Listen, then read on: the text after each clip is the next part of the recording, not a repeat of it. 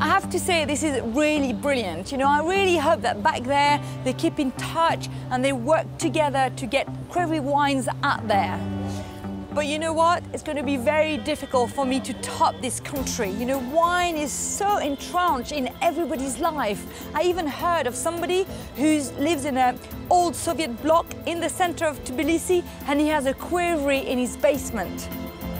I've had a fantastic time trying to understand what makes these passionate Latin-like people tick and I will do my bit to champion what they're about. And of course, they've got to do their bit to get to grips with their tradition, but we have got to give them a chance as well. You know, after all, this is where wine began, and we owe it to wine itself.